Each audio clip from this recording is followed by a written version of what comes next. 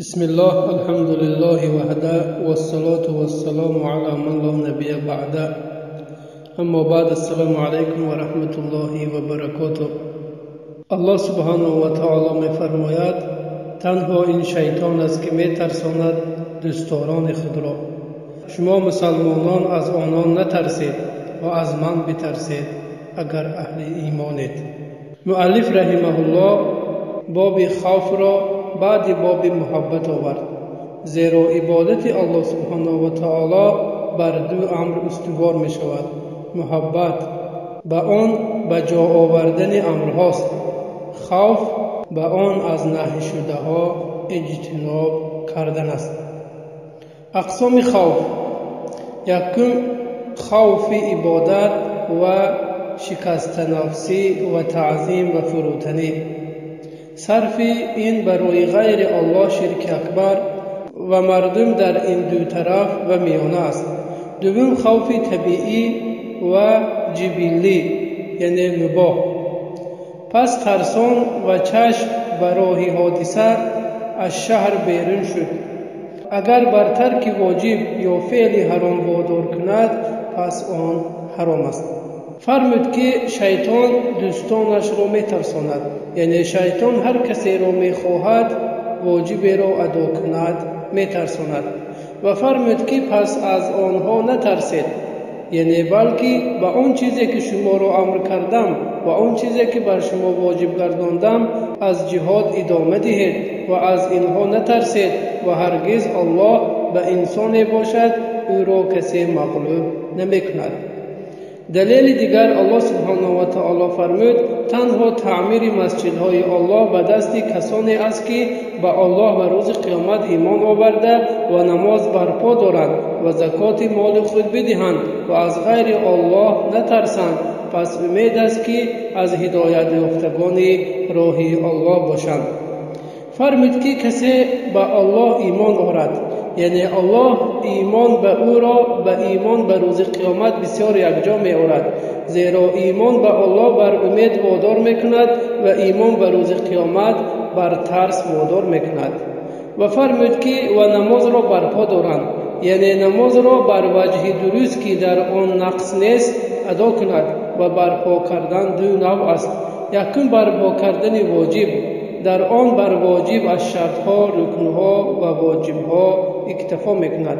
Дуввум барпо кардани мустаҳаб дар он бар воҷиб меафзояд пас ба воҷиб ва мустаҳаб меояд ва фармуд ки ва наметарсад. Яъне хашият хавфест ки бар илм ва азамати касе ки аз ӯ метарсад ва камоли султони ӯро медонад ва фарқи байни хашият ва хавф ин аст ки якум хашият бо донистани тарсидашуда ва ҳоли ӯ мебошад байне ки хавф аз ҷоҳил мебошад. Дуввум хашият ба сабаби азамати тарсидашуда мебошад. Байне ки хавф барои заифии тарснок мебошад.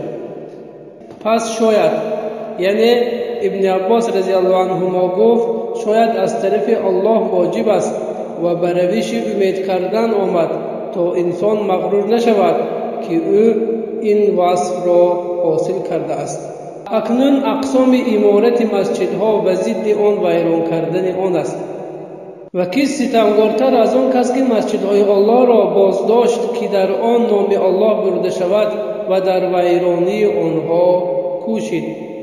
Якум иморати ҳиссӣ дуввум иморати маънавӣ. Иморати ҳиссӣ ба бино ва қолинпӯш кардан ва покӣ ва таъмири он ва зидди он харобии ҳиссӣ аст ба вайрон ва хароб кардани он. Дуввум иморати маънавӣ ба намоз хондан ва зикр ва қироат кардан ва зидди он хароби маънавӣ аст мисли гардондани масҷидҳо ҷойҳои ширк ва бидъатҳо.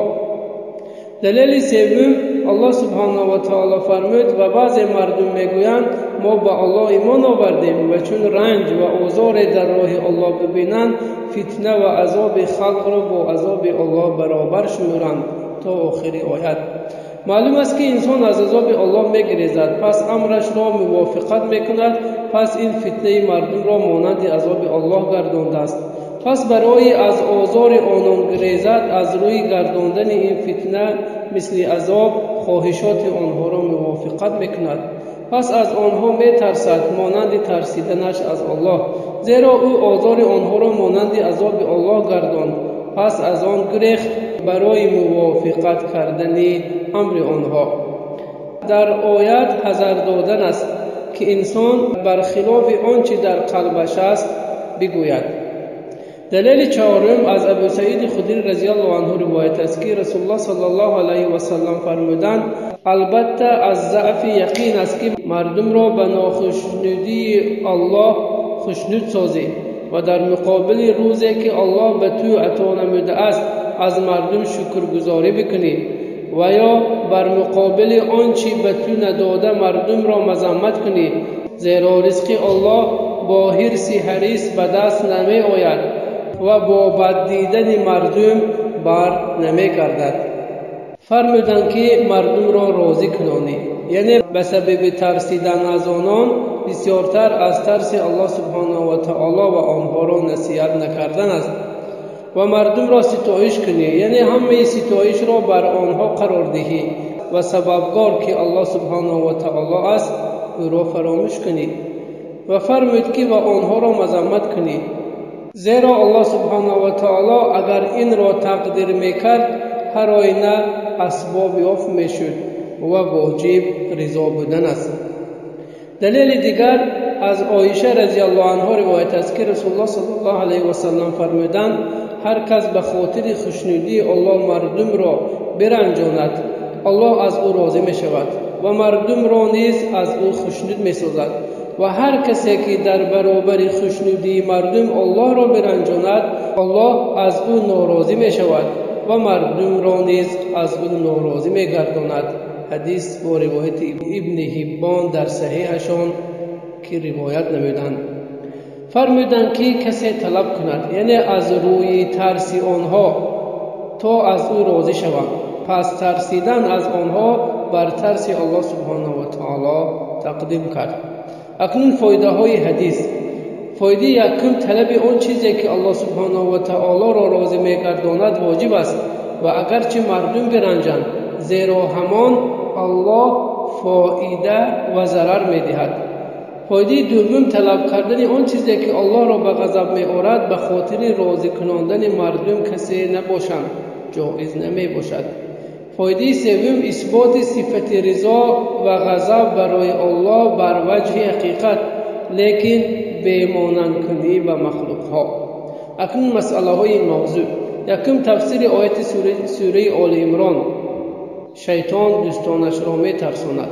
Дуввум тафсири ояти сураи бароат танҳо таъмири масҷидҳои аллоҳ. Севум тафсири ояти сураи анкабут ва баъзе мардум мегӯянд мо ба аллоҳ имон овардем. Чаҳорум яқин гоҳо заиф ва гоҳо қавӣ мегардад. Панҷум се чизи дигар аз омилҳои заифи имон аст. Ин ки мардумро ба нохушнудии аллоҳ хушнуд созӣ ва дар муқобили рӯзие ки аллоҳ ба ту ато намудааст аз мардум шукргузорӣ бикунӣ ва ё дар муқобили он чӣ ки ба ту надода мардумро мазаммат кунӣ. Шашум ихлоси тарс аз аллоҳ таоло аз ҷумлаи фарзҳост ҳафтум савоби касе ки фақат аз аллоҳ битарсад. Аллоҳ аз ӯ розӣ шавад ва мардумро низ аз ӯ розӣ созад. Ҳаштум ҷазои касе ки аз аллоҳ натарсад аллоҳ бар ӯ ғазаб кунад ва мардумро алайҳи ӯ бар ғазаб орад ассалому алайкум ва раҳматуллоҳи ва баракатуh